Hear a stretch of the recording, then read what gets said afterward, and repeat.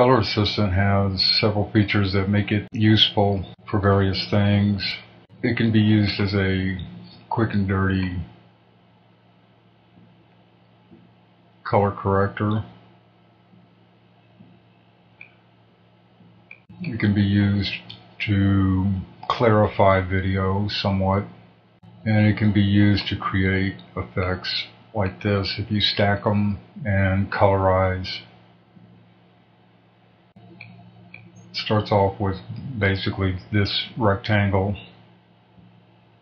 and it can be positioned and distorted some.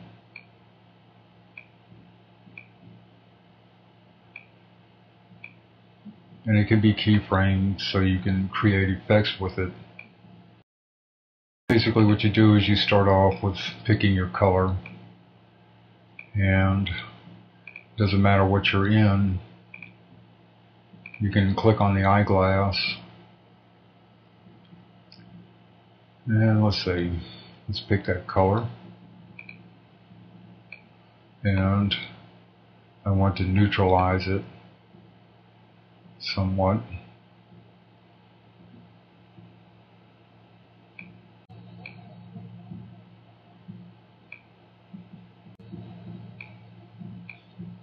Or enhance it.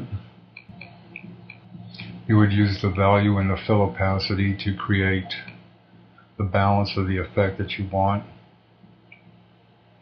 You can feather the edges. It has a fall off. You can turn it on and off while you're trying out things. You can use scale parameters to animate any effects. And like I said, you can shear this.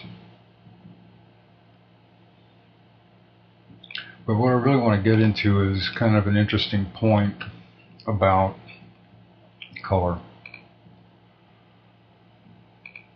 Let's turn this one off, add a new one, and go in to this. Basically, if you move down below the line, whatever degree of color you are in the color circle is what's being subtracted. Okay, you got a little minus sign here, you're subtracting. You go above the line, you add. Down here, you subtract. But one of the drawbacks of this is that there's no way to really find out what the exact degree value of a color is. And any filter you have that's got a color picker in it can be used to determine the degree of the color of the hue, I should say, that you need to enhance or neutralize. You don't right click on this. Right clicking on this will actually pop up a color picker. I mean, you can do that, but what I'm suggesting is, is that you just click on it and pop up the regular Apple color picker. Now you have this, and you can use this very much like you would a color corrector three-way. You can grab your little point down here and drag it all over and pick your colors. So if you were neutralizing something, just like in color corrector three-way, if you were neutralizing red, you would drag away from the red from the center, etc. And if you were neutralizing yellows, you would drag away from yellow through the center into the blue area.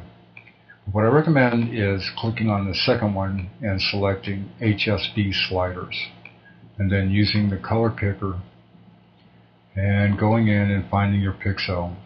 Let's pick this um, sea green sea foam color 184.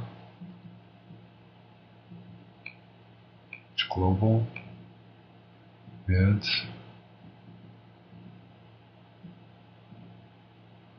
Say we want to enhance it some, we can go in and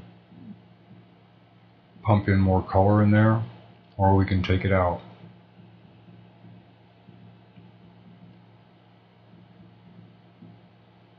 But that's a very quick way to figure out exactly what color you need to deal with is to use a color picker and a filter and target it with a magnifying glass.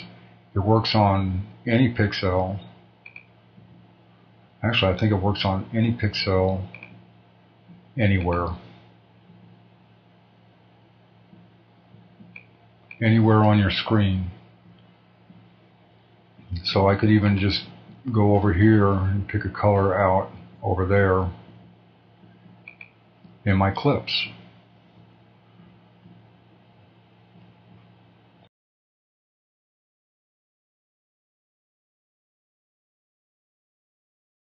I use this technique to help me color correct this particular clip for skin tones. And this is fairly accurate and fairly good, but you can use the color assistant to give a little bit more vibrance to And just a touch.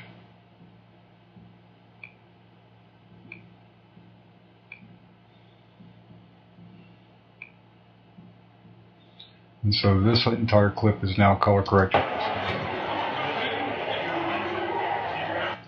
Anyway, quick tip, simple filter. Hope you enjoy. Thank you very much.